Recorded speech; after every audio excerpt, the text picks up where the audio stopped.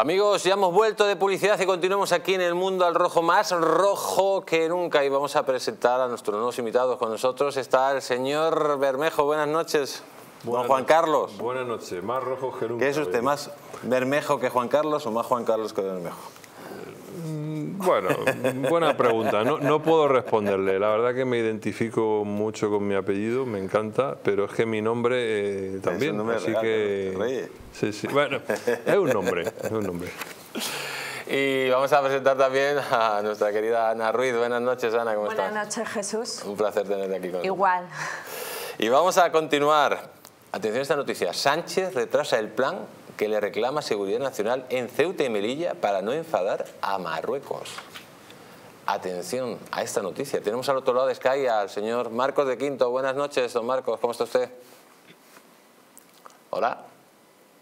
Parece que no... Hola, ¿qué tal? ¿Qué ah, tal? Hola. ¿Qué tal? Eh, Vemos eh, que, Sánchez es capaz de poner en peligro directamente la seguridad del Estado con tal de no enfadar a Marruecos. ¿Hasta qué punto está comprometido este señor y está comprometiendo a todos los españoles y nuestra seguridad? Bueno, eh, esto es, es muy entendible si tenemos en cuenta que en España sufrimos, eh, digamos, el primer presidente que no trabaja por el interés de España, sino por el suyo. Es decir, es una persona que mm, está aliada absolutamente con todos aquellos que no tienen ningún interés en que España prospere. Está aliado con terroristas condenados, con golpistas condenados, que no quieren el bien de España, con malversadores. Eh, permite, por ejemplo, a Putin que asesine en nuestro territorio eh, a, desertores suyos de su ejército.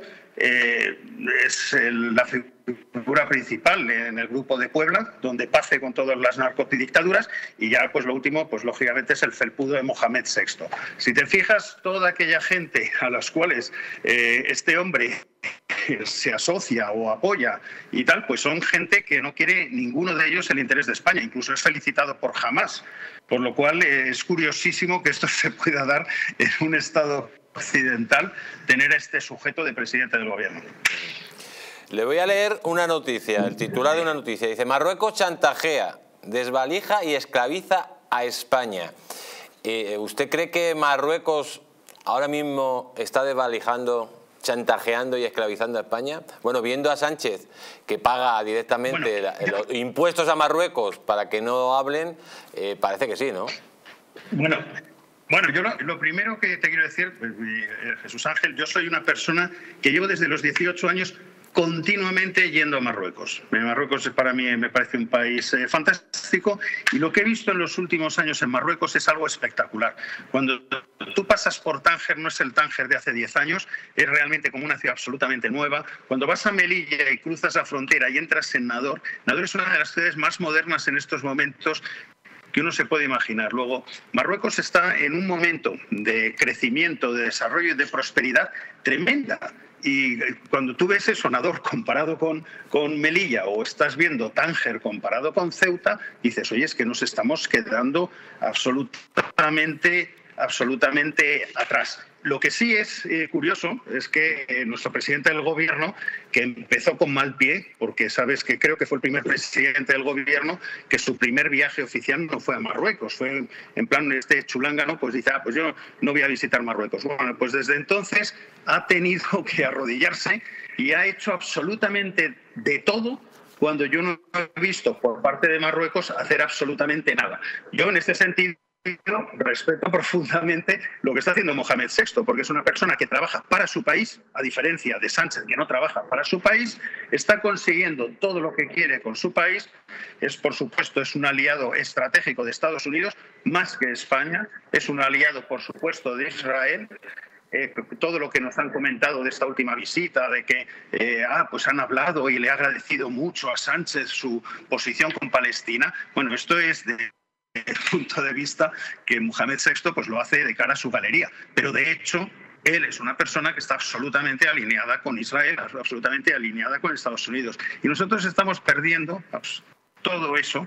Y, bueno, pues lo que ha conseguido Sánchez ha sido dar, dar, dar, dar, que es lo que siempre hace, lo mismo que ha hecho con los catalanes, con los golpistas catalanes, lo mismo que hace con Bildu es dar, dar, dar a cambio de nada le ha dado pues material a Marruecos, le ha dado vehículos, le ha regalado pues eh, Toyotas y de los mejores vehículos 4x4, eh, le concedió la destitución del Haya tras el escándalo este con Brahim Gali del Frente Polisario, eh, le, entregó el Sáhara y hemos tenido que pagar con ello pues el desencuentro con Argelia cuando éramos un socio privilegiado de Argelia.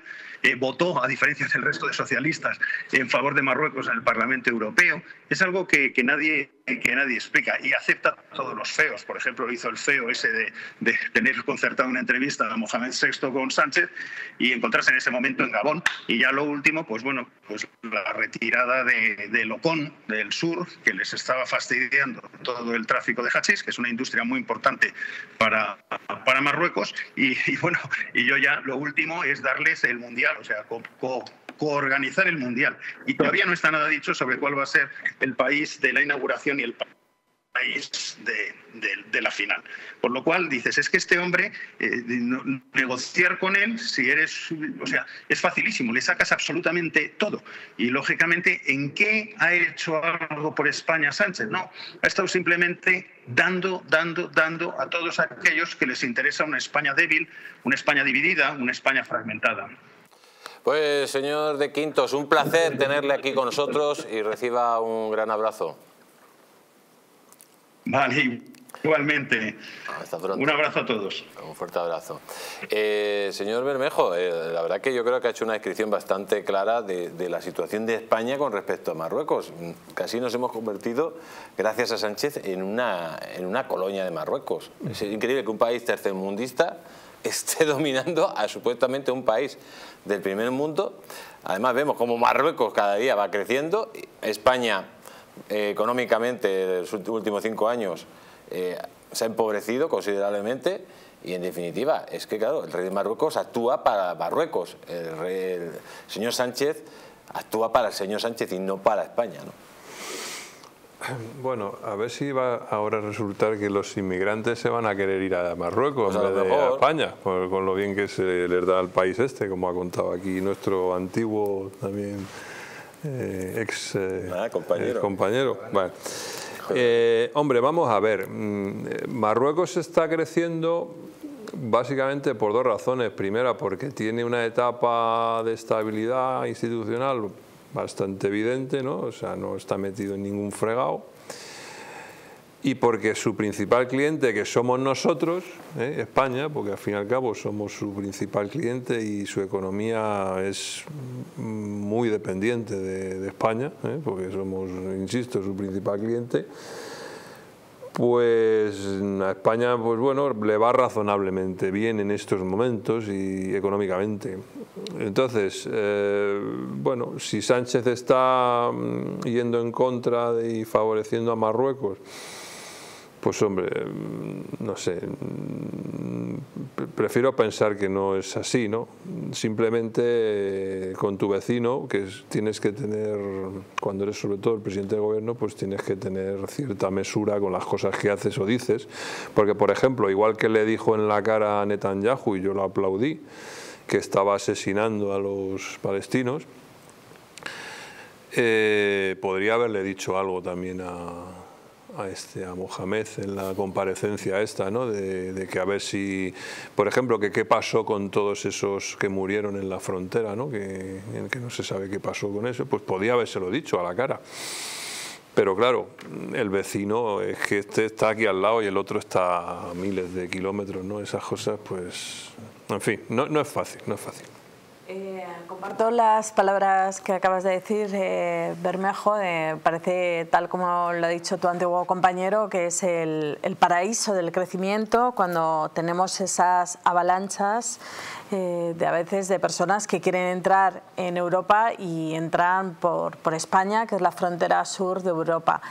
El caso de, a lo que dicen, no, no sé a qué se refieren con, esa manera de que el presidente de nuestro, de nuestro país esté eh, arrodillado a los intereses de Marruecos.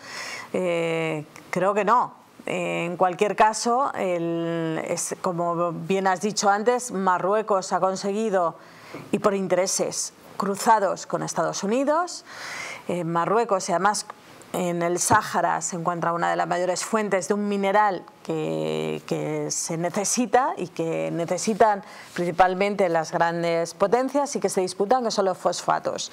Eh, los fosfatos están en el Sáhara y aparte hay grandes eh, bancos de, de, pesca. Estados Unidos tiene un interés principal en esto el señor Trump, antes de irse, 15 días antes, le dijo, vale, perfecto, y a cambio de toda esta ayuda me vas a hacer otro favorcito y es que a ver si reconoces también Jerusalén como capital del Estado de, Israel.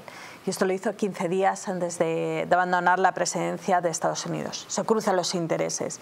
Pero aparte de la situación en el Sáhara, no es solo que sea una cuestión de la protección de Estados Unidos, también la tiene de otros países eh, europeos potencias, como, como, ha sido también una potencia en, en el norte de África, como ha sido Francia, como, como también eh, Bélgica y Alemania, que apoyan la misma tesis eh, americana sobre, sobre el Sáhara.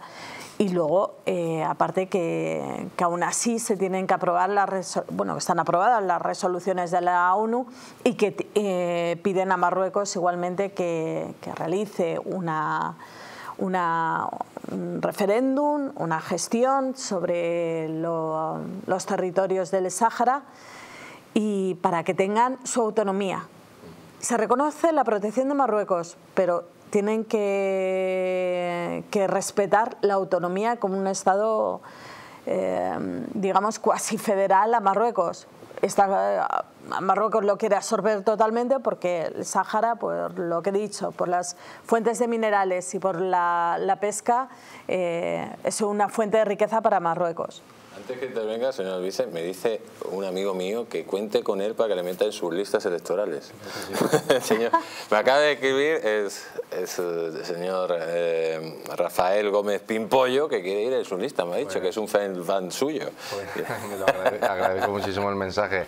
Lo de Marruecos, si pudiera asesinar a los 25.000, 30.000 saharauis que tiene cerca de la frontera, lo haría no puede hacerlo porque no tal, pero Marruecos, de verdad, pero no es culpa de Marruecos porque Marruecos está considerado por en concreto el CNI español, una dictadura y los informes que le llegan a los altos cargos del ejército. Una narcodictadura. Una narcodictadura. Bueno, en los informes dicen dictadura, que controla por entero, incluyendo el Parlamento marroquí, el señor Mohamed VI, que vive en una, en una pequeña población de menos de 30.000 personas, en donde hay tráfico de niños de 15 a 17 años, en donde, porque es un degenerado, disculpadme, pero lo tenemos que decir, es que esto es harto sabido por cualquiera que entienda un poquito de esto. Luego, Sáhara, Sáhara es español. Cualquier persona que tenga la más mínima duda que se coja un libro de historia y lo vea. Cómo España ha abandonado al pueblo saharaui es criminal y la historia nos juzgará por español ser no es. Sáhara español. No es Sí, español. según la ONU, Fue sí. español. Sáhara español. Fue No, espa- bueno, claro. tuvo el Diremos lo mismo de Ceuta y Melilla. español. Diremos lo mismo de. Ceuta y mismo Melilla. es, Eh, Y cuando dicen, oye, Marruecos no está... Según la ONU es el administrador es España. es Por eso lo español. digo, que cualquiera que entienda de, de Melilla es historia, aquí español. obviamente no incluyo a la señorita Ana, pues sabrá que Sahara es español. Luego decimos, No, oye, no, que, no. ¿cómo que Marruecos no? Marruecos no está tan bien, porque si no, déjenos hablar más de 10 segundos seguidos, que, yo le dejo, yo le con absoluto interés, pese a las barbaridades que está escuchando. Y luego dicen, no, es que Marruecos, Marruecos no está tan bien porque los pobres moritos vienen a España. Perdona, primero, toda África, todo el continente de África, que cruza por Marruecos para ir a España, no todos son marroquíes. Y segundo, eh, los que libera Marruecos como vía de válvula de presión, como hizo el señor Fidel Castro en la Miami de los 70 y de los 80 en Estados Unidos, que usaban a lo peor, la peor calaña criminal de sus cárceles para meterlas en un barquito y decir, para Estados Unidos, así nos vengamos de que nos intentéis eh, estropear Cuba. Bien, pues eso, esa es la realidad. Si no asumimos de una maldita vez, señores, que tenemos un enemigo en el sur de de colindante al sur de España, que es Marruecos. Insisto, enemigo, que está entrenando a sus tropas y está armándose hasta los dientes con empresas estadounidenses e israelíes. Es que esto es innegable, porque vamos, los contratos de, de compraventa de armas es público. En el, en el desierto del sur, para prepararse en una posible contienda, no digo un conflicto bélico directo, digo tener la capacidad de amenazarnos y decir, señores, Ceuta y Melilla es nuestra y las Islas Canarias, vamos a verlo también, porque las Islas Canarias tienen, insisto, un 300% más de población. Ya, y esto es duro decirlo, ha entrado en, en Canarias en un, un mes, en enero, más de lo que ha entrado en los ocho meses anteriores, en inmigración ilegal. Eso sí es una invasión. Y hasta que no entendamos que tenemos un enemigo que nos está extorsionando a nivel agricultura, a nivel inmigración, a nivel recursos minerales, a nivel, a nivel ejército, etcétera, pues vamos a seguir siendo sometidos. Eh, porque es que los tratados no lo solo lo firma con España, lo firma con Europa. Marruecos es un socio preferente. Es que tenemos un grave problema en Europa y que tengamos que dejar de ser esclavos de Europa. Es un socio preferente de la Unión Europea. Es un socio Porque lo hemos permitido. España ah, sería preferente para los, en los acuerdos de la PAC, etcétera, si nosotros no nos hubiéramos sometido a los intereses de Marruecos. Claro, claro. ¿Dónde van a pescar nuestros barcos? Es la siguiente, o sea, que, Pedro Sánchez le esté diciendo a Seguridad Nacional que tiene que eh, implementar un, un, plan para Ceuta y Melilla y que no lo esté haciendo para no molestar a Marruecos, eso pues que, preocupa pero cuando hay algún general que se atreve a hablar en algún medio de comunicación diciendo, señores, tenemos un grave problema con lo que está pasando en Marruecos y Dios verá en los años 30, es decir, en menos de seis años, qué va a pasar ahí, pero bueno, en 2030 se verá este programa seis años atrás y de anda, pues, pues hubo gente que lo dijo. Históricamente hablando, los enemigos de España han sido Francia, Inglaterra y Marruecos. Esto es una evidencia histórica y quien no lo sepa asumir y piense que tenemos que ser... no quiere decir que tengamos que seguir... Pero vamos a ver que es una cuestión geográfica. ¿Dónde está España? Los recursos minerales, ¿de quién dependemos? ¿Qué necesitamos? Pero es que esto no lo va a cambiar ni siquiera un gobierno progre de Pedro Sánchez. Las realidades históricas están donde están. Por eso nuestros enemigos históricos han sido Inglaterra a través de la masonería, porque la masonería en España, ¿a quién rinde tributo? Es que hay que entender un poco de lo que es la realidad en este país. Pues claro. que claro, claro, claro, claro, puro, puro. Diciendo unas cosas claro, claro. Un poco más, eh, ahora la cartela del nodo. Venga, los socialistas, pero que no, ¿qué masones, ¿Por, ¿Por, Dios, porque dices unas cosas de verdad, ¿qué cosas? no, pero vamos a ver, ¿es algo, algo de lo que he dicho es falso? Sí.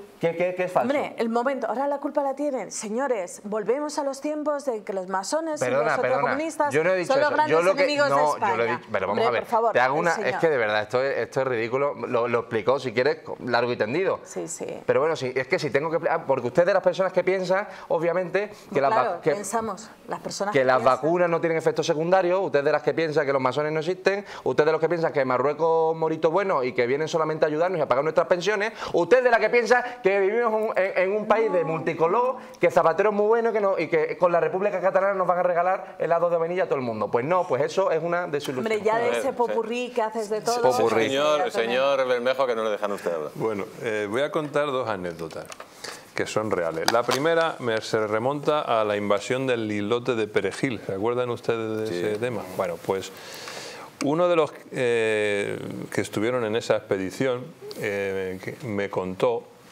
que cuando estaban desembarcando pasaron unos cazas franceses por encima y les dejaron ciegos de comunicaciones absolutamente. O sea, Ana, el enemigo lo tenemos arriba y abajo y siempre lo hemos tenido.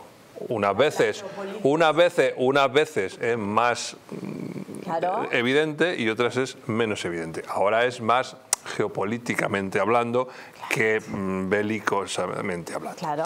Y la segunda anécdota que le quiero decir eh, es que eh, estuve este fin de semana hablando con un comandante del Ejército de Tierra de España y me dijo que estaba muy preocupado por cómo estaba el ejército español. ¿En qué situación está? Pues primero está en una situación técnica y de medios mm, bastante precaria. bastante precaria. Pero además, y esto ya es mm, mi opinión casi igual de grave, que está totalmente desarraigado de la sociedad española. Es decir, que no tenemos conciencia los ciudadanos de que hay ahí unos soldados y que muchos de ellos eh, eh, están en misiones que no tienen nada que ver con la defensa de España. ¿eh? Y que algunos mueren y que otros mm, sufren mutilaciones, sufren enfermedades mentales. Hay desarraigo, porque cuando, cuando antes, cuando se hacía la mili, ¿se acuerda usted? ¿no? Pues entonces a ver, que la mili siempre hemos pensado mucho, yo el primero, que eso era un poco mm, hacer perder el tiempo al personal, ¿no? Si no es necesario, ¿no? Pero ¿qué pasa? Que cuando la gente iba a la mili, las familias tenían un contacto con el ejército durante un año, lo que fuera. El hijo, otro hijo, el primo, el vecino, el no sé qué, y, se establecían unas relaciones, unos vínculos, y entonces había un arraigo con el ejército. ¿Vale? Eso hoy no existe.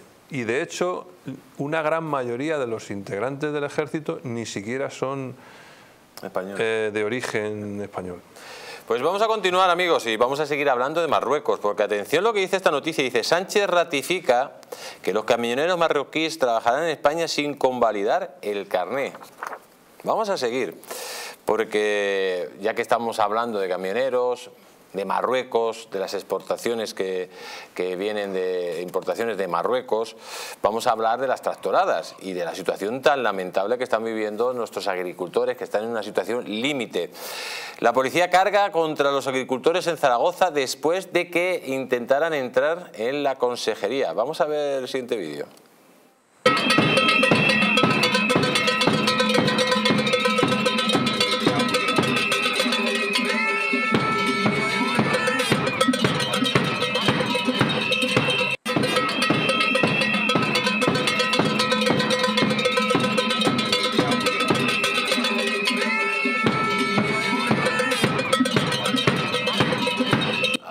Amigos, las protestas en Zaragoza. Pero quiero que escuchen este siguiente vídeo, porque atención, que en esas protestas eh, están hablando de que se están deteniendo algunos camiones que vienen de Marruecos y se están haciendo análisis sanitarios de la fruta que viene de Marruecos.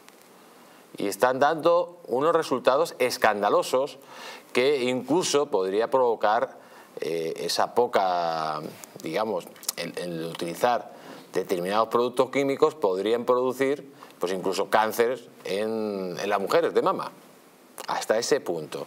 Por eso los productos españoles, lógicamente, tienen una reglamentación y una seguridad que no tienen los productos de, de Marruecos. Vamos a escuchar el siguiente audio y quiero debatirlo aquí.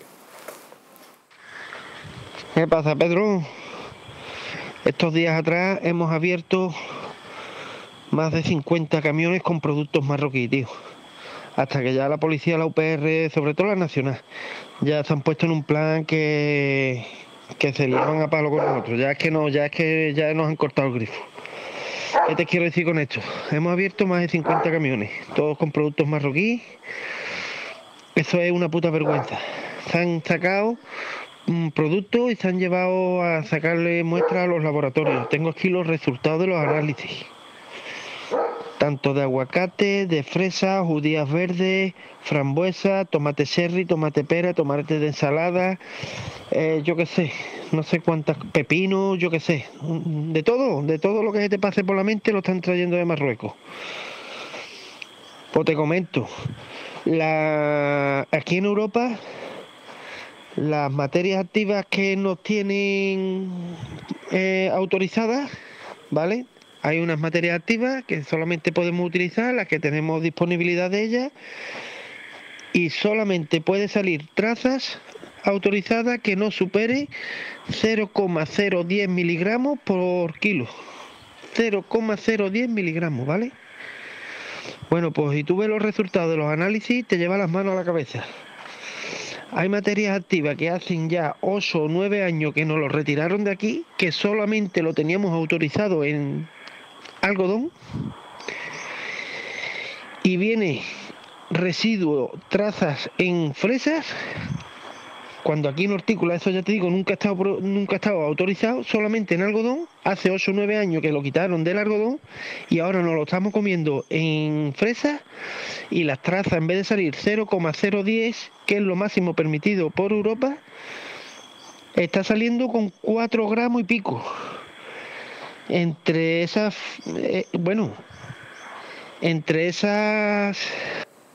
Pues ahí tenemos, eh, señor Alvise, em, estamos importando productos que lógicamente no cumplen los rigores sanitarios de, España.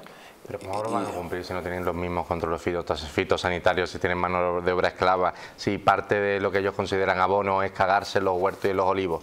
O sea, esta es la fruta y la verdura que viene de Marruecos. Oye, me cojo mi mierda y la mierda del burro, la pongo ahí al lado de la y a ver qué sale y qué nace. Esa es la realidad del campo en, gran parte de Marruecos y por eso es más barato. Por eso es más barato que, por ejemplo, en mi tierra Andalucía, la naranja, porque así es como se produce. Obviamente los españoles que no quieran comer basura, pues deberían, pero vamos, insisto, no basura, comida que no tiene los certificados fitosanitarios que tenemos los países de, Europa, pero seguro que están para defender la fruta y la verdura marroquí, porque seguro que solo nos importa de lo mejor, lo, mejor. No, lo que sí que es cierto, y tiene mucha razón, que en Europa se exigen unos límites y sobre todo en la en la producción con los fitosanitarios para nuestra propia salud, para la salud de los consumidores. Lo que sí que es cierto es que eh, entran productos, y no es justo que entren productos de, compitiendo eh, con una menor calidad, utilizando otros fertilizantes, otros productos, eh, no es justo. ¿Qué es lo que está ocurriendo? Que muchas empresas europeas europeas con filiales y sociedades eh, ubicadas en Europa, pues se van a terceros países, como pasa también con la ropa, a otros lugares en los que tienen otras condiciones laborales y también se pueden utilizar otra serie de productos fitosanitarios que abaratan el producto. Y luego con la entrada y el sello europeo, pues entran en Europa porque siguen siendo empresas europeas. Y esto para el pequeño agricultor pues la verdad, no es justo. No es nada justo, porque están compitiendo en condiciones desiguales. Y no, no, no, no puede ser. En esto tiene que realmente, tanto Europa como el Gobierno, aparte ya de que se aprobó eh, la ley de, por el precio justo en la cadena alimentaria, en el cual que no pudieran vender bajo coste, que en esto les estaban asfixiando. Y esto hace una medida que tiene que seguir impulsándose y que puedan seguir, por lo menos controlar y que los contratos sean públicos para saber que no dependan solo de la denuncia del pobre agricultor cuando vaya a vender, sino que las cosas vayan y que sean transparentes y que lo podamos ver. Oye, y si alguna cadena está asfixiando también a los agricultores, que se vean eh, eh, esos precios y esos contratos. Pero luego las condiciones de desigualdad mm, son intolerables y si están produciendo de una determinada manera, pues hombre, volvamos a los aranceles y eso de alguna manera pues ayudaría a que no sea tan fácil que, que entren.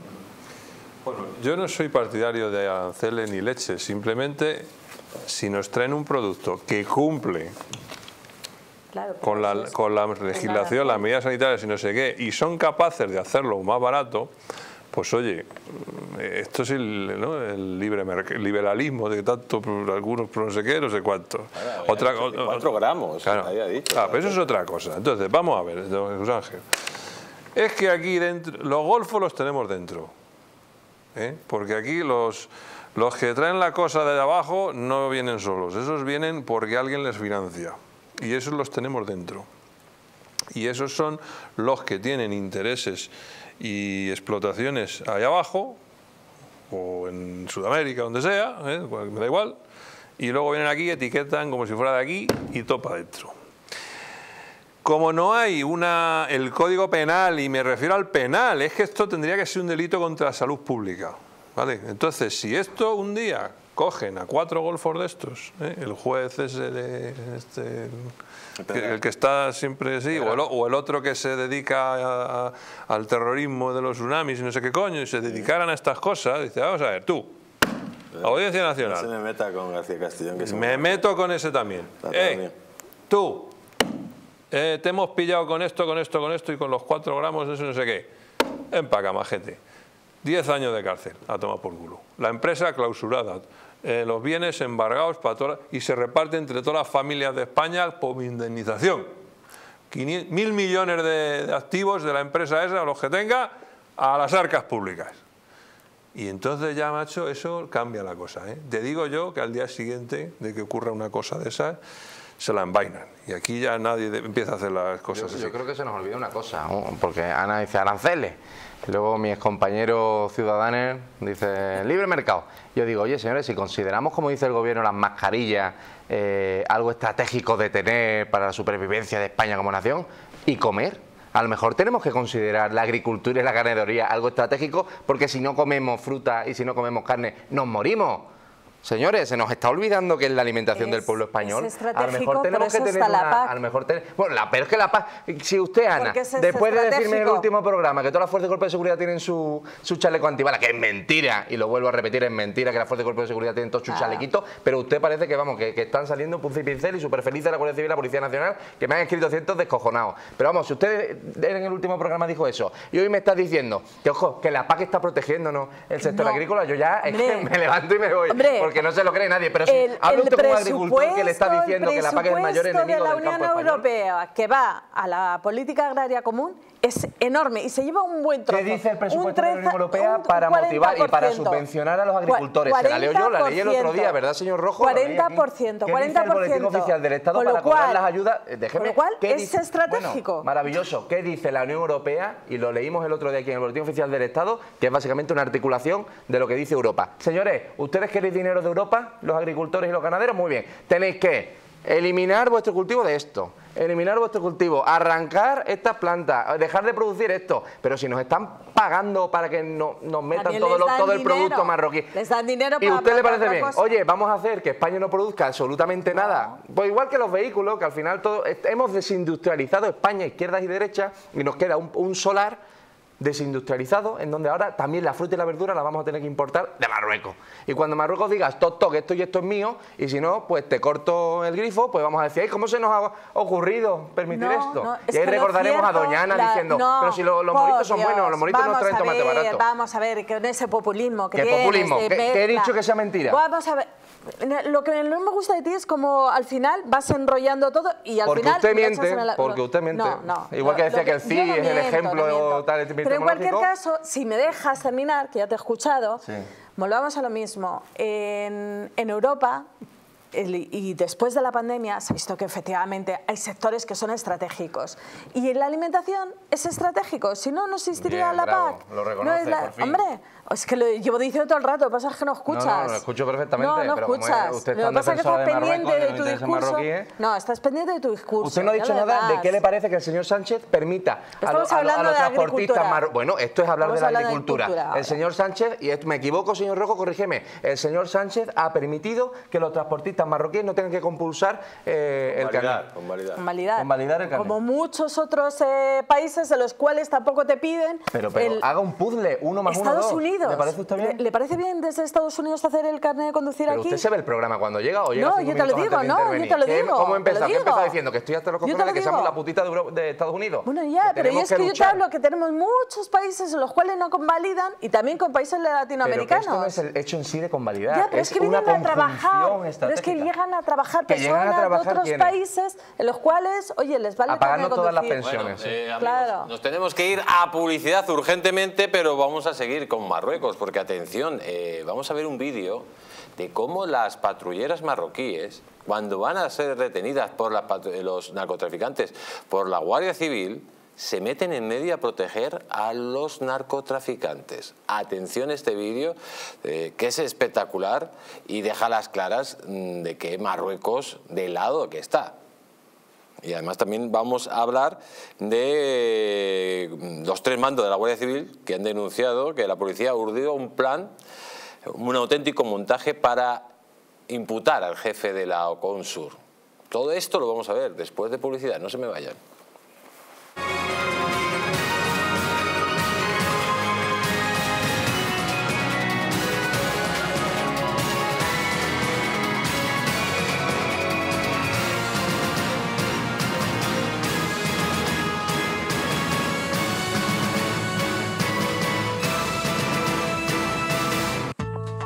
La presencia del colágeno en la composición de huesos, piel, ligamentos, cartílagos y tendones es imprescindible para frenar su deterioro.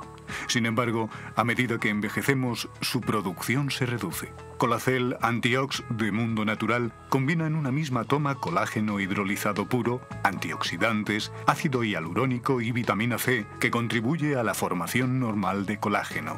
Haz del tiempo tu gran aliado. Colacel Antiox.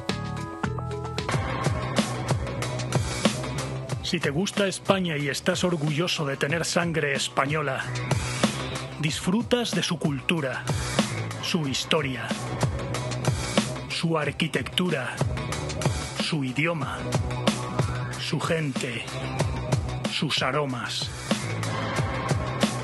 Para los que conocemos nuestro pasado,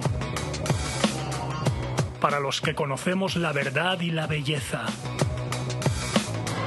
Alexandra V presenta una forma de hacer el regalo perfecto. Visita la web alexandradv.com. Bull Seguridad protege tus activos de la ocupación. Mediaciones legales y efectivas.